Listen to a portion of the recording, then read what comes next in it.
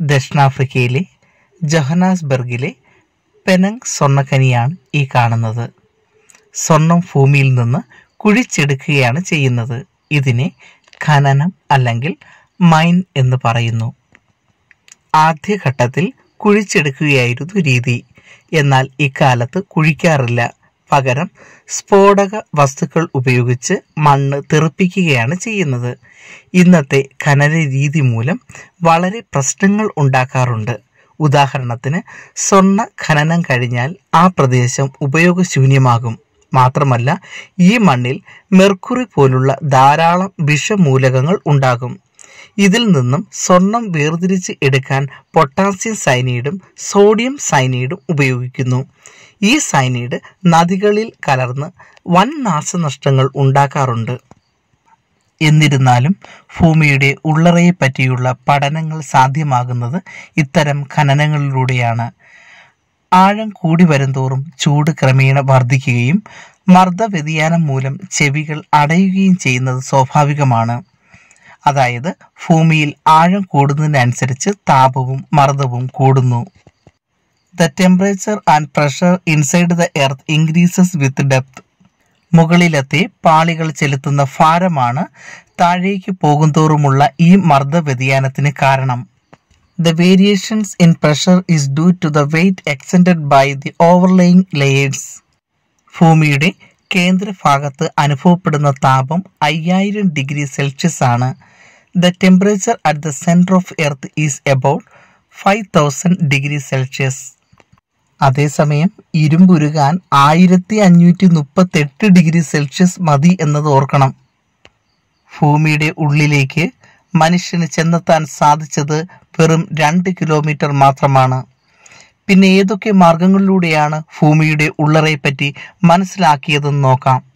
ഒന്ന് അഗ്നിപർവത സ്ഫോടനങ്ങളിലൂടെ ഭൗമോപരിതലത്തിൽ എത്തിച്ചേരുന്ന വസ്തുക്കളിൽ നിന്ന് from the materials reaching the earth surface through volcanic eruptions ഈ ലാവ തണുത്തുറഞ്ഞ് പാറയായി മാറുന്നു.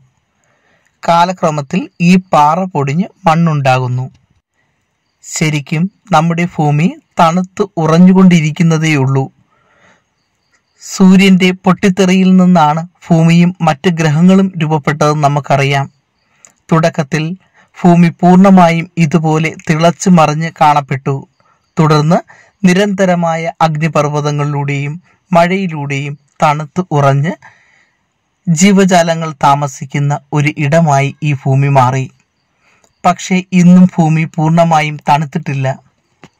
ഈ അഗ്നിപർവതം ഉണ്ടാകുന്നത് വളരെ നേരത്തെ നമുക്ക് തിരിച്ചറിയാൻ സാധിക്കും. തുടക്കത്തിൽ വളരെ കുറച്ച് പുക ഇതുപോലെ കാണും. ക്രമേണ പുകയുടെ അളവ് കൂടി കൂടി വരും. ചില സ്ഥലങ്ങളിൽ ഇതേപോലെ ഒരു വർഷം തുടർച്ചയായിട്ട് പുക വന്നതിന് ശേഷമാണ് അവിടെ അഗ്നിപർവതങ്ങൾ രൂപപ്പെടുന്നത്.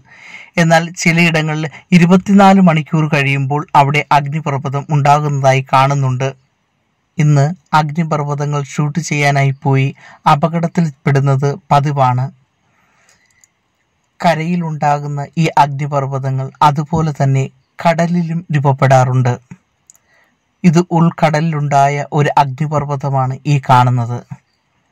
ഭൂമിയുടെ ഉള്ളറയിൽ മനുഷ്യൻ നേരിട്ട് ചെന്നുള്ള പഠനം അസാധ്യമാണ്. അതുകൊണ്ട് ഭൂമിയുടെ ഉള്ളറയെ പറ്റിയുള്ള പഠനം സാധ്യമാകുന്നത് അഗ്നിപർവത സ്ഫോടനങ്ങളിലൂടെ ഭൗമോപരിതലത്തിൽ എത്തിച്ചേരുന്ന വസ്തുക്കളിൽ നിന്നാണ്. മറ്റൊന്ന് ഭൂകമ്പ സമയത്തുണ്ടാകുന്ന തരംഗങ്ങളുടെ ചലനം വിശകലനം ചെയ്യുന്നതിലൂടെ analysis of the propagation of waves generated during earthquakes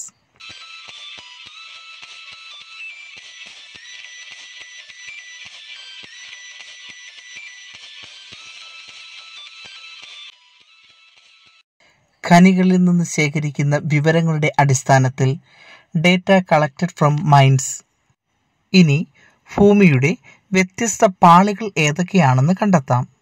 identify these layers crust ഭൂവൽക്കം. മാൻഡിൽ ഔട്ടർ കോർ പുറക്കാമ്പ്. ഇന്നർ കോർ അകക്കാമ്പ്. ഈ ഓരോ പാളിയുടെയും സവിശേഷതകൾ നോക്കാം. ഭൂവൽക്കം. ഭൂമിയുടെ താരതമ്യേന നേർത്ത പുറന്തോട്. The comparatively thin outer shell of the earth ഏകദേശം നാൽപ്പത് കിലോമീറ്റർ കനം എറൗണ്ട് ഫോർട്ടി കിലോമീറ്റർ തിക്ക് ഭൂവൽക്കത്തിന് രണ്ട് ഭാഗങ്ങളുണ്ട് വൻകര ഭൂവൽക്കവും സമുദ്ര ഭൂവൽക്കവും. Two parts continental crust and oceanic crust silica alumina എന്നീ ധാതുക്കൾ മുഖ്യമായും അടങ്ങിയിരിക്കുന്നതിനാൽ വൻകര ഭൂവൽക്കത്തെ സിയാൽ എന്ന് വിളിക്കുന്നു. As silica and aluminium are the chief content of continental crust it is also known as sial സമുദ്ര ഭൂവൽക്കം സിലിക്ക മഗ്നീഷ്യം എന്നീ ധാതുക്കൾ മുഖ്യമായും അടങ്ങിയിരിക്കുന്നതിനാൽ സമുദ്ര ഭൂവൽക്കത്തെ സിമ എന്ന് വിളിക്കുന്നു. Oceanic crust silica and magnesium are the chief content of oceanic crust it also known as sima അടുത്തത് mantle ഭൂവൽക്കത്തിന് താഴെയായി സ്ഥിതി ചെയ്യുന്നു. ലൊക്കേറ്റഡ് ബിലോ ദ ക്രസ്റ്റ് ഭൂവൽക്ക പാളിക്ക് താഴെ തുടങ്ങി രണ്ടായിരത്തി തൊള്ളായിരം കിലോമീറ്റർ വരെ from forty kilometre to two thousand nine hundred kilometre മാൻഡിലിന് രണ്ട് ഭാഗങ്ങളുണ്ട്. ഉപരി മാൻഡിൽ അതോ mantle two parts upper mantle and lower mantle ഉപരി മാൻഡിൽ സിലിക്കൺ സംയുക്തങ്ങൾ കൊണ്ട് നിർമ്മിതമായ ഈ പാളി കരാവസ്ഥയിലാണ്. The upper mantle made up of silicon compounds is in a solid state അതോ മാൻഡിൽ ഉപരി മാൻഡിലിന് താഴെയായി സ്ഥിതി ചെയ്യുന്ന ഈ പാളിയിൽ പദാർത്ഥങ്ങൾ അർദ്ധദ്രാവകാവസ്ഥയിലാണ്. The lower mantle located beneath the upper mantle is in a semi liquid state core or കാമ്പ്. ഭൂമിയുടെ കേന്ദ്രഭാഗം. Central part of the earth. രണ്ടായിരത്തി തൊള്ളായിരം കിലോമീറ്ററിൽ തുടങ്ങി ആറായിരത്തി മുന്നൂറ്റി എഴുപത്തി ഒന്ന് കിലോമീറ്റർ വരെ. From two thousand nine hundred kilometre to six thousand three hundred seventy one kilometre.